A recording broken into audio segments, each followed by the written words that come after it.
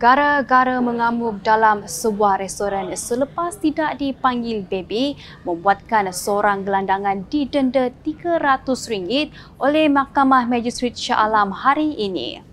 Magistrate Muhammad Reza Azhar Rezali menjatuhi hukuman itu selepas tertuduh Muhammad Asri Abdullah 50 tahun mengaku bersalah atas pertuduhan dibacakan kepadanya oleh jurubahasa mahkamah.